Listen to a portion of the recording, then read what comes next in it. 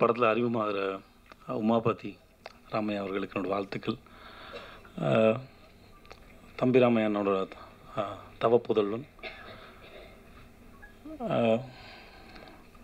உங்கள் அப்பா ஒரு செம்ம ஆக்டர் ஸ்க்ரீனில் யார் இருந்தாலும் சரி தனியாக ஒரு மாதிரி ஒரு ஐம்பது வயசை கடந்த மனுஷன் வந்து ஒரு எல்கேஜி யூகேஜி குழந்த மாதிரி துருத்துருன்னு ஸ்க்ரீனில் வந்து அட்ராக்ட் பண்ண முடியும்னா அது இவரால் மட்டும்தான் முடியும்னு நினைக்கிறேன்.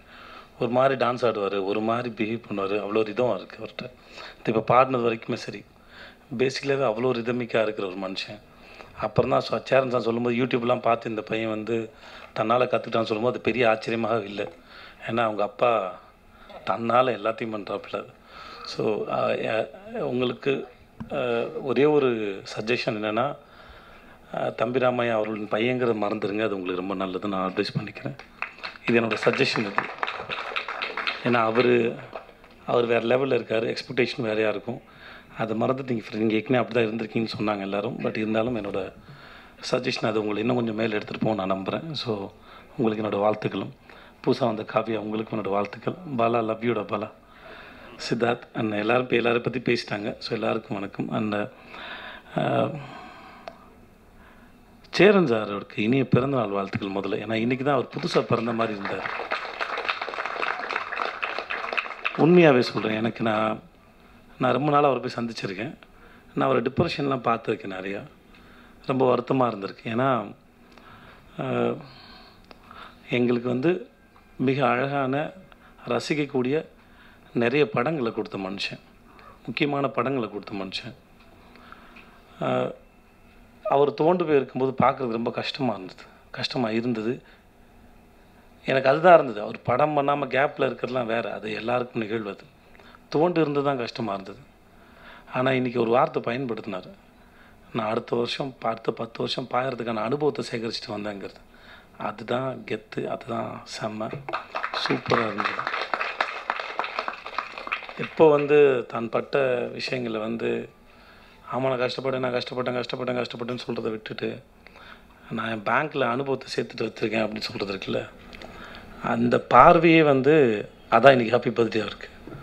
அதான் அதுதான் அந்த உற்சாகம். ஆக்சுவலாக அவர் ரொம்ப நேரம் பேசிட்டார் அவருக்கே தெரில பேசி முடிச்சதுக்கப்புறம் சொல்கிறேன் இது பேசுறதுக்கு டைம் இருக்குது படம் பார்த்து சொல்கிறேன் ஆக்சுவலாக நீங்கள் ரொம்ப எவ்வளோ நேரம் பேசுனீங்க தெரியல. டைம் ஆறாயிருக்கும்னு நினைக்கிறேன் நேரத்துக்கு. ஸோ அவருக்கு இன்னும் ஏன்னா அவ்வளோ இருக்குது அவருக்கு பகிர்ந்துக்கிறதுக்கு. அவரோட பகிர் அது ஒரு ஒரு பின்னாடி வந்துட்டு அப்புறம் முன்னாடி போகிறது இல்லையா? அது அது ஒரு ஆக்சுவலாக சொல்கிறேன் அது வந்து தொடர்ந்து வெற்றியை சந்திக்கிறவனுக்கு கூட அந்த ஒரு போதை இருக்காது சார் உங்களுக்கு சொல்கிற அளவுக்கு எனக்கு அனுபவம் அறிவும் கிடையாது. பட் ஆனால் ஒரு பேக் அடிச்சுட்டு ஃப்ரண்ட்டு போகும்போது தான் அதோட வேகமும் சரி விவேகமும் சரி ஒரு மாதிரி இருக்கும். அப்போது ஒரு ஒரு ஞானம் பிறக்கும் பாருங்கள் அதுதான் நம்மளை வந்து அதுக்கு அடுத்த சாகர வரைக்கும் கொண்டு போகிறதுக்கான மிகப்பெரிய தெளிவும் ஞானத்தையும் கொடுக்கும். நீங்கள் அது அதுதான் இங்கே இருக்கிற மிகப்பெரிய அழகு. ஸோ அப்புறம் ஸோ சேரன் சாருக்கு வாழ்த்த வயதிலே வணங்குகிறேன். அப்புறம் இந்த படம் ப்ரெசென்ட் பண்ண விதம் ஏன்னா என்ன டைட்டில்னு சத்தியமாக எனக்கு தெரியாது. ப்ரெசென்ட் பண்ண விதம் விதம் வந்து ரொம்ப மங்களகரமாக இருந்தது ஒரு தொடக்கமாக இருந்தது. பத்துங்கிறது பூஜ்ஜியத்தில் முடிஞ்சு அதுக்கு அடுத்து ஒன்று தொடங்கும்போது ரெண்டு ஒன்றா தொடங்குறாப்புல அதுவும் ரொம்ப நல்லா இருந்தது. அது திருமணம் சொல்லி போட்டு அந்த டைட்டில் டிசைன் பண்ணுது ஏ இந்த கல்யாணத்துக்கு போகலான்னு தோணுச்சு ஆக்சுவலி அவ்வளோ அது ரொம்ப முக்கியம்.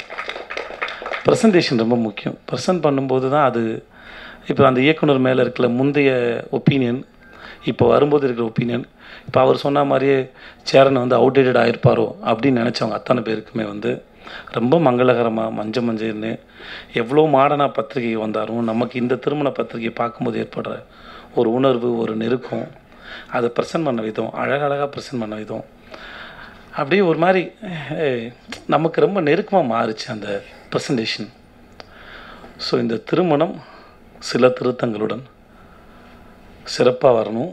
சிறப்பாக வந்திருக்குன்னு நான் நம்புகிறேன் கண்டிப்பாக நம்ம எல்லோரும் போய் மொய் எழுதுவோம். எல்லாருக்கும் நன்றி.